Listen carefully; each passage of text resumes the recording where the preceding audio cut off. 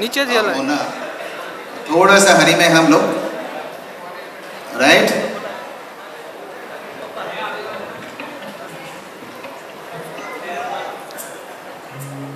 बापू नीचे।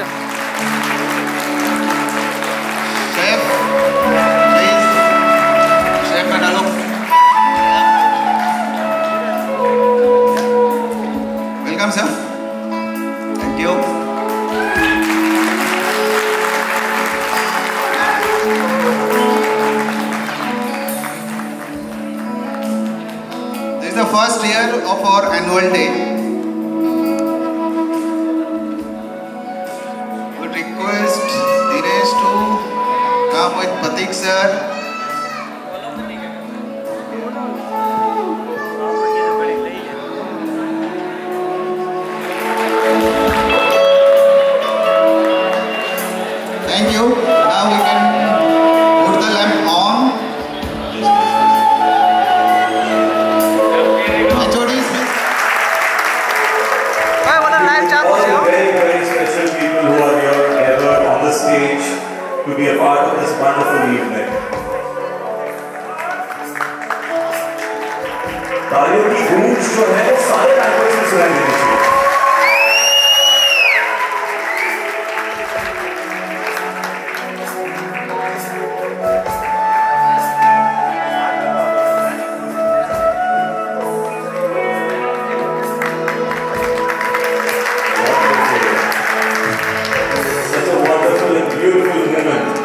For the entire Avadhitokya Surat. It is the night of the stars that begins with the glow of this beautiful candle.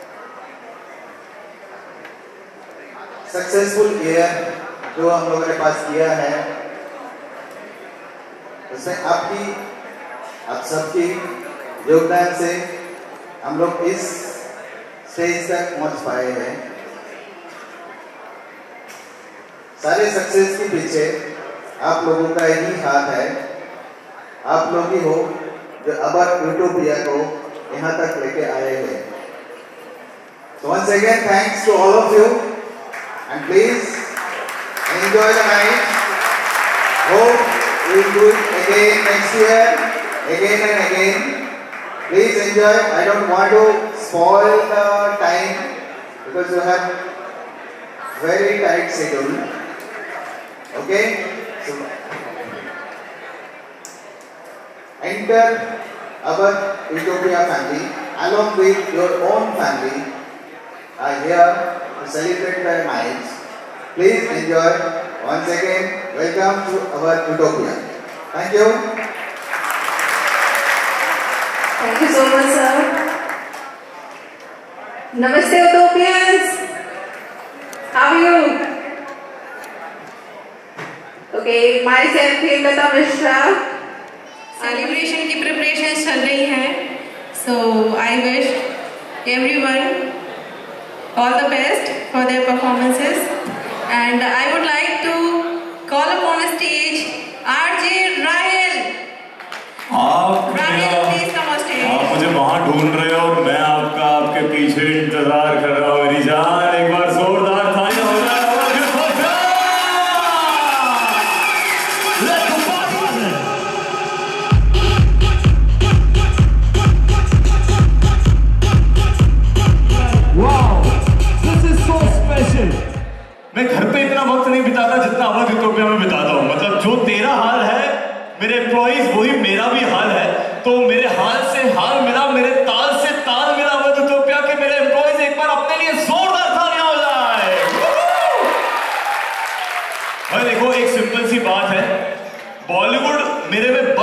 तो उसमें एक कहावत है कि इतने बाजू इतने सर गिन ले दुश्मन जान के हारेगा वो हर बाजी, जब खेले अवध यूटोपिया के हर एम्प्लॉय जी जान से। एक बार जोरदार। Wow thank you thank you so much ma'am for introducing me वैसे हर बार जो मैं कार्य करता हूँ, वो उन्होंने बड़ी खूबसूरती से किया है यहाँ पर। तो इनके लिए भी जोरदार तालियाँ हो जाए और आज की शाम के जितने स्टेज मैनेजमेंट में जुड़े हैं, जिन्होंने बहुत मेहनत की है। हम सबके लिए, अपनों के लिए मेहनत करने के लिए तो शाम की शुरुआत से पहले हमारे अपनों के लिए जोरदार तालियाँ बजा दीजिए। कौन एवरीवन वैसे आपको पता है, एक सर्वे ऐसा कहता है कि सबसे ज़्यादा प्यार हमारे देश में कुवारों का अपने ही ऑफ़िस के एम्प्लॉयज़ के बीच में हो जाता है। जो हंस रहे हैं, वो शायद किसी ना किसी को प्यार करते हैं। लेकिन ये प्यार, इस मोहब्बत की बातें हम आगे बढ़ाएँ, उससे पहले मैं आप सबको इतना बता दूँ कि क्योंकि आज अवध यूटोपिया के एम्प्लॉयज़ के सारे परिवार वाले भी आने वाले हैं तो इधर उधर पैरी पोना करवा दीजिएगा, काम आज ही खत्म हो जाए तो हर एनुअल मीटिंग में हम एक साथ डबल सेलिब्रेशन कर सकते हैं। लेकिन ये सेलिब्रेशन बिना म्यूज़िक अधूरा है। और म्यूज़िक की जब बात करें तो हम उन फनकार और उनकी टीम को यहाँ पे बुलाने वाले हैं, जो कुछ पल के लिए हमारे साथ इस शाम की संगीतमय शुरुआत करेंगे। सो लेडीज़ एंड जेंटलमैन मैं चाहूँगा कि जोरदार तालियों के साथ please welcome Robin and his entire team everyone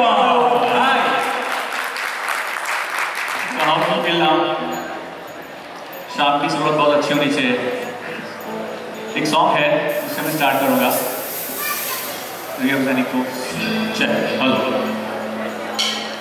스타트. 1, 2, 3, 4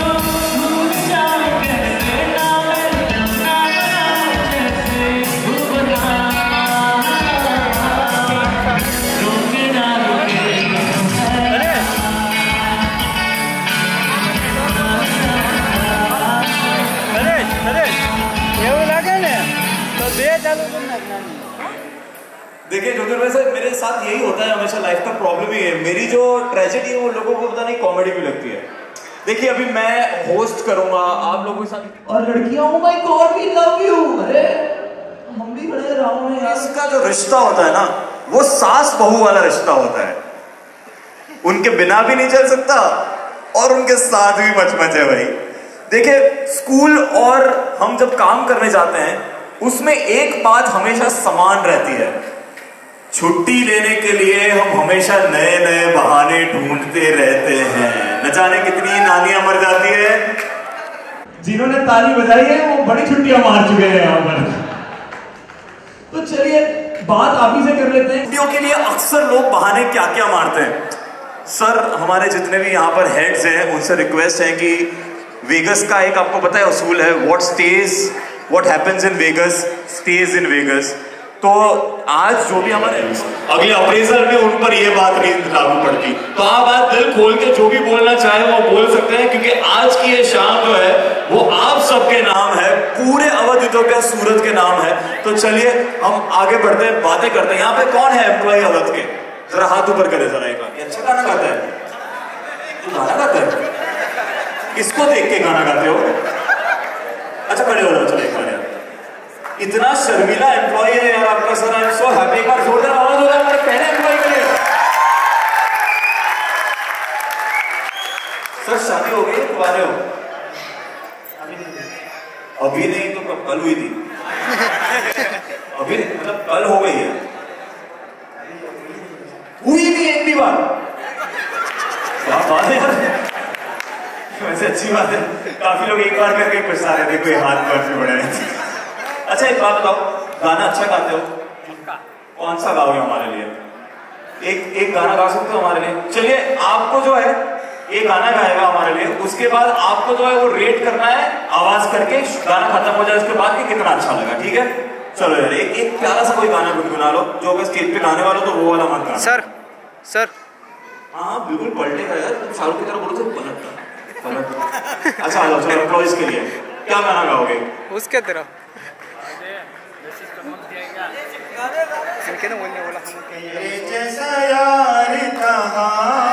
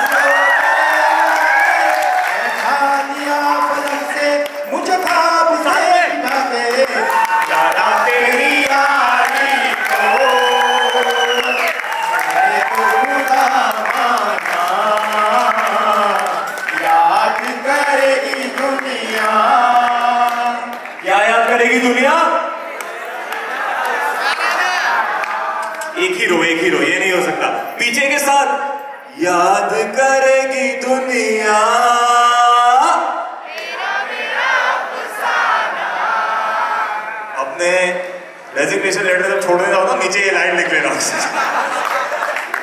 Thank you thank you so much तो भाई, पसंद आ गया हमारा ये पहला परफॉर्मर क्या बात है, क्या बात है मुझे भी गाने वाले लोग बिल्कुल नहीं पसंद। सारी लाइन लाइट लेके चले जाते हो। बिना गाने की दुनिया अधूरी है, लेकिन मुझे नहीं आता, ये तो मजबूरी है।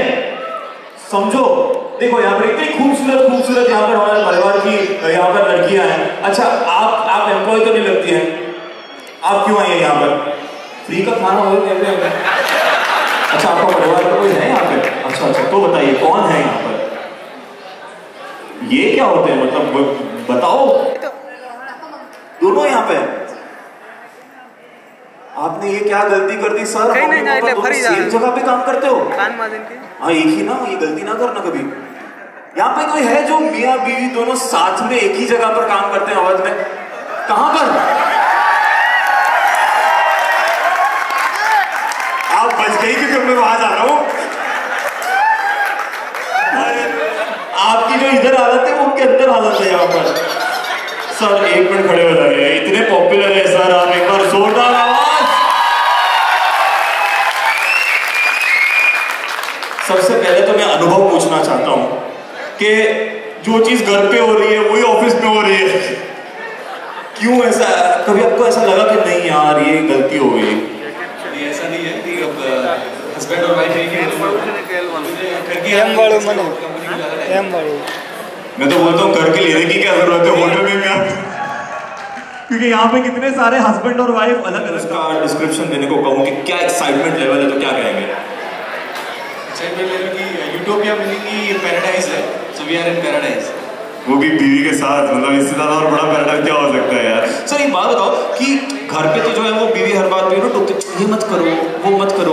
यहाँ पर जो है वो दोनों साथ में काम करते हो तो क्या सेम सिचुएशन का सामना करना पड़ता है? डिपार्टमेंट्स अलग है ना तो सिर्फ़ टी टाइम पे मिलते हैं फिर लंच टाइम पे। चलो शांति से खा भी नहीं सकता इंसान ऑफ़िस में। क्या बात कर रहे हो? Sir thank you so much चलिए बेटर हाफ़ से बात करते हैं। आई एम अज्यूमिंग कि आपकी बेटर हाफ़ है। बिल्कुल इसलिए साइड पे बैठे। सर मैम कैसे आप आप खड़ी हो सकती है प्लीज़ कितनी खूबसूरत लग रही है। एक बार इनके लिए जोरदार तालियाँ बनती है यार अच्छा एक सच बात बताओ इनके कपड़े डिसाइड किसने किए? मैंने। जो आदमी इतनी बड़ी होटल में इतना अच्छा काम करता है वो घर पे अपने कपड़े भी सिलेक्ट नहीं कर सकता। सोचो ये बात कितनी दुखदाई बात अच्छा एक बात बताए कि घर में ये और यहाँ पर ये में क्या डिफरेंस है दोनों ये में? सेम है। दोनों सेम है। ऐसी कोई बात नहीं है कि आपको लगता है कि ऑफ़िस में होते हो तब तो ऐसे होते हो घर पे आके बड़े ऐसे हो जाते हो आप। बिल्कुल सेम और आप? ऑपोजिट यहाँ शांति है वहाँ क्रांति है। क्या बात है एक बार जोरदार तालियाँ बजाने के लिए। Thank you so much ma'am thank you so much तो देखिए मेरा छोटा सा परिचय मेरा नाम है Rahil R A H I L और मैं ऐसे बीच बीच में आके आपसे वार्तालाप करता रहूँगा और आपको एंटरटेन करता रहूँगा लेकिन फ़िलहाल एंटरटेन के साथ साथ थोड़ी सी ऊपर वाले की भी स्टेज पर अब परफॉर्मेंस करने के लिए कहते हैं कि जितनी भी मेहनत कर लो लेकिन जब तक ऊपर वाले का आशीर्वाद ना हो तो वो मेहनत फलती नहीं है। और इसीलिए ऊपर वाले के आशीर्वाद